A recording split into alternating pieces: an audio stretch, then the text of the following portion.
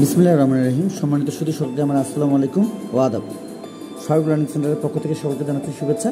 তো আমরা আজ উপস্থিত হচ্ছি আপনাদের ছোট সোনামণিরা, যারা আমাদের প্রথম শ্রেণীতে পড়াশোনা করছে। তো প্রথম শ্রেণির এর আগে আমরা ভিডিও দিয়েছি। তো আমরা আজ দ্বিতীয় প্রান্তিক মূল্যায়নের যে পূর্ব প্রস্তুতিগুলো রয়েছে, বিশেষ করে ধারাবাহিক বা শিক্ষণকালীন বা শ্রেণীভিত্তিক যে মূল্যায়নগুলো সেই বিষয়গুলোর উপরে আমরা আজকে গণিত বিষয়ের উপরে বিশ নম্বরে একটি প্রশ্নপত্র নিয়ে আলোচনা করব। আশা করছি প্রথমত শেষ পর্যন্ত ভিডিওটি দেখব। তো আমরা এই দ্বিতীয় প্রান্তিক মূল্যায়নের পূর্বে আমাদের যে কাজগুলো, আমরা চেষ্টা করব আপনাদেরকে সম্পূর্ণ বিষয়গুলো দেখিয়ে দেওয়ার। আর আমরা চেষ্টা করছি আপনাদের সামনে সুন্দরভাবে সেই বিষয়গুলো তুলে ধরবার। তো আমরা আজকে সর্বমোট পাঁচটি বিষয় নিয়ে আলোচনা করব এবং উত্তরপত্রগুলো আপনাদেরকে দেখানোর, বা উত্তরমালাটিও আপনাদেরকে দেখিয়ে দেওয়ার চেষ্টা করব শেষে। তো প্রথমে যেটি আমরা যে কাজটি করব সেটি হলো পাঁচ যোগ দুই সমান সাতের জন্য একটি গল্প তৈরি করো। এই বিষয়টি ছিল আমাদের একটি এবং জ্যামিতি অংশ রয়েছে। তো আমাদের এই আচ্ছা তো আমাদের এই পাঁচ যোগ দুই সমান সাত, এটির জন্য আমরা যে কাজটি করতে পারি, যে প্রথম শ্রেণি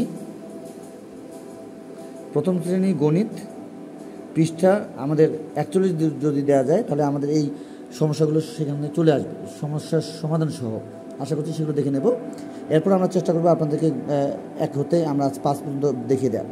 তো যেমনি অংশ রয়েছে দুই নম্বরে, সেটি হলো আমাদের বিন্দু এবং আমাদের রেখা।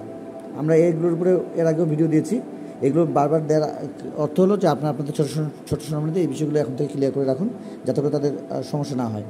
এবং এখানে যেটি রয়েছে, মাঝের সংখ্যার কথা বলেছে, আমরা আপনাদেরকে এটি দেখিয়ে দেওয়ার চেষ্টা করছি যে আমরা এটা কীভাবে তাদের এই কাজটি করাতে পারি। আমরা চেষ্টা করব আপনাদেরকে পুরো বিষয়টি দেখিয়ে দেওয়ার। আশা করছি প্রথমতে শেষ পর্যন্ত ভিডিওটি দেখছি। আমরা আজকে সর্বমোট পাঁচটি বিষয় নিয়ে আলোচনা করব। আচ্ছা আমরা তিন নম্বরটি দেখতে পেলাম। আমরা কিছুক্ষণের মধ্যে আপনাদেরকে এটি বুঝিয়ে দেওয়ার চেষ্টা করছি। আমরা চলে যাব চার নম্বরে। চার নম্বরে যে বিষয়টি রয়েছে যে যোগ করো। যোগের জন্য আমরা আমাদের ছোটো সোনামণিদের স্বাভাবিক যোগগুলো দেওয়ার চেষ্টা করছি।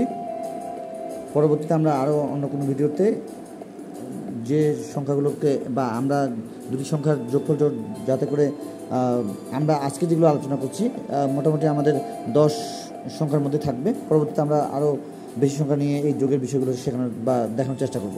তো আমাদের পাঁচ নম্বর যে বিষয়টি রয়েছে, সেটি হলো এক কথায় উত্তর।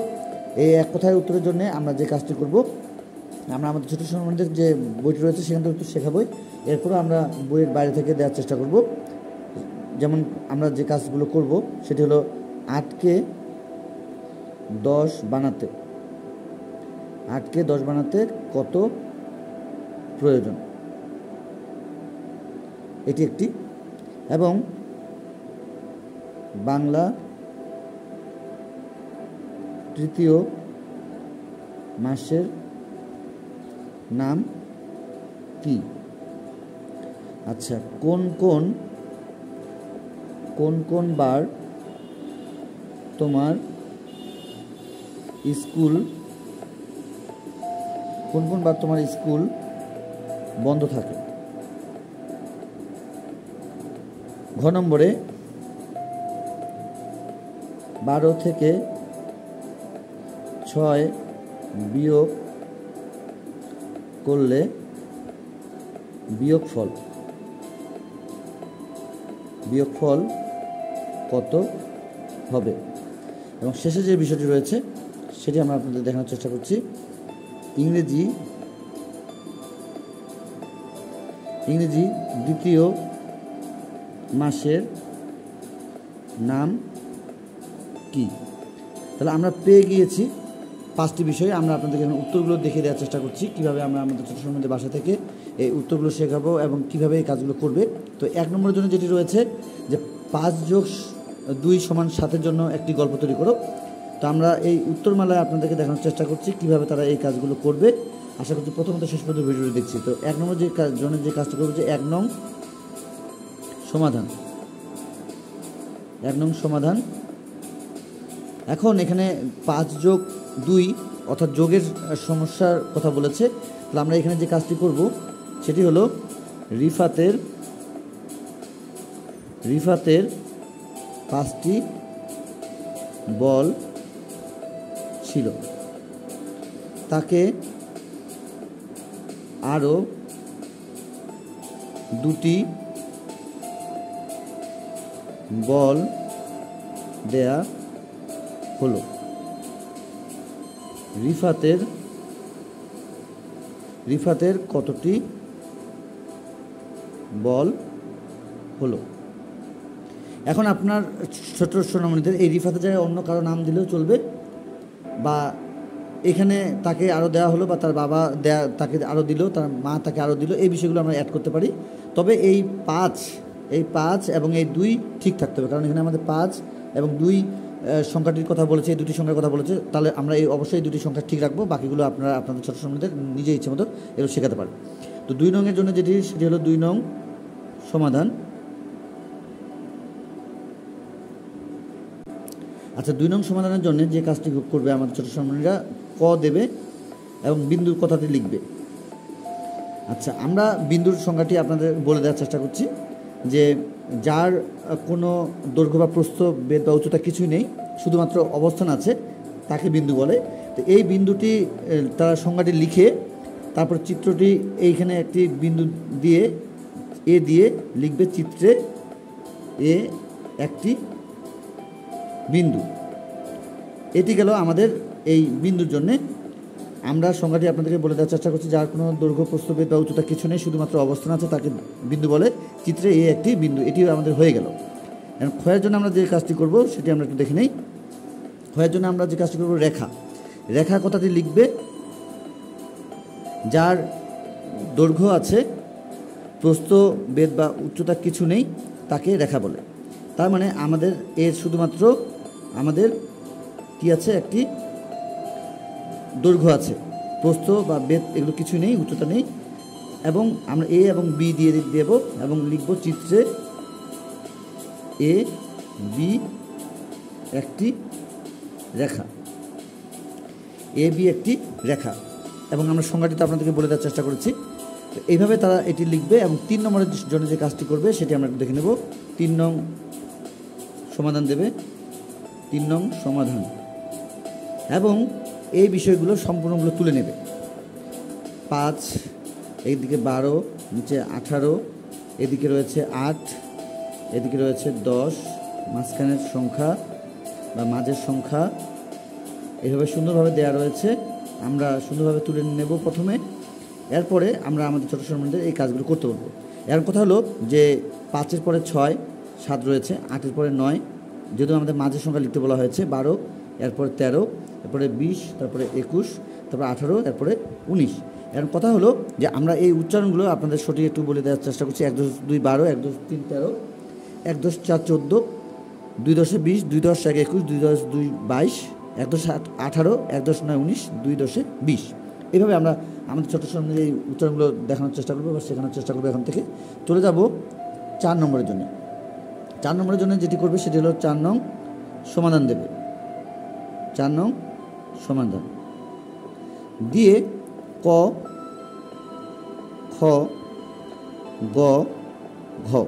এখন কথা হলো, তারা কয়ের পরে খ, গ, ঘ এভাবেও দিতে পারে, তবে নিচে নিচে দিলে খুবই ভালো হয়।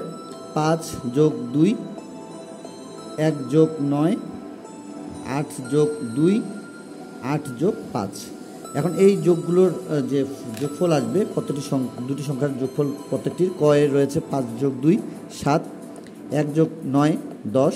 আট যোগ দুই, দশ। আট, পাঁচ, তেরো। এখন চলে যাব আমরা পাঁচ নম্বরের জন্য। পাঁচ নং সমাধান দেবে, পাঁচ নং সমাধান। এবং আন্ডারলাইন করে দেবে। এখন যেভাবে রয়েছে, ক, খ, গ, ঘ, এবং উ এখানে আমরা কোনো আর উত্তর বা সমাধান এই বিষয়টি দেওয়ার চেষ্টা করব না। যেহেতু পাঁচ নং প্রশ্নেরই পুরো এই অংশটি। তাহলে পাঁচ নং সমাধান দিয়ে প্রত্যেকটি অংশ এখানে আমাদের হয়ে গেল। আমরা ক নম্বরে চলে যাব। আটকে দশ বানাতে কত প্রয়োজন? তাহলে আটকে দশ বানাতে অবশ্যই আমাদের দুই প্রয়োজন। শুধু আমরা লিখে দেবো দুই প্রয়োজন। আমরা এক কথায় উত্তর শুধু আমরা এক কথায় উত্তর লিখে নেব। এবং বাংলা তৃতীয় মাসের নাম, বৈশাখ জ্যৈষ্ঠ আষাঢ়। তো আষাঢ় এই কথাটি মাসটার নাম আমরা লিখে নেব। আচ্ছা কোন কোন বার তোমার স্কুল বন্ধ থাকে? এখন আমাদের স্কুল বন্ধ থাকছে হচ্ছে শুক্রবার। শুক্রবার ও শনিবার। এই দুটি বার আমরা লিখে নেব। আচ্ছা বারোকে বারো থেকে দশ বিয়োগ করলে বিয়োগফল কত হবে? তাহলে বারো থেকে ছয় চলে গেলে ছয় হবে। এবং আমাদের ইংরেজি দ্বিতীয় মাস, জানুয়ারি, ফেব্রুয়ারি, সেহেতু আমরা ফেব্রুয়ারি মাস লিখব। আমরা, আমাদের ছোটো সোনামণিদের এই ইংরেজি মাসের নাম এবং বাংলা মাসের নাম, অর্থাৎ আমাদের, তাদের বাংলা মাসের নামগুলো এবং ইংরেজি মাসের নামগুলো অবশ্যই আমরা প্রত্যেকটি মাসের নাম তাদেরকে শিখে রাখব যাতে করে যে কোনো প্রশ্নে আসুক না কেন তারা এই প্রশ্নগুলোর সমাধান যেন দিতে পারে।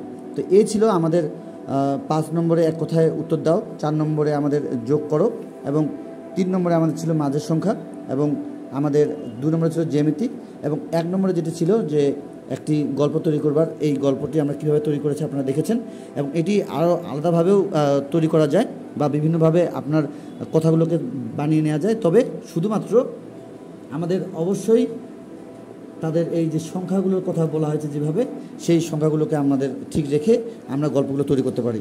এবং আমরা এই বিষয়ের উপরে আপনাদের ছোটো সোনামণিদের যে কথার অঙ্কগুলো রয়েছে, আমরা কথার অঙ্কগুলো নিয়ে অনেক ভিডিও দিয়েছি এবং চেষ্টা করেছি আপনাদের ছোটো সোনামণিদের গণিত বিষয়ের যে পাশাপাশি আমাদের বাংলা, এরপরে ইংলিশ, এই বিষয়গুলো নিয়ে আমরা যথেষ্ট ভিডিও দিয়েছি।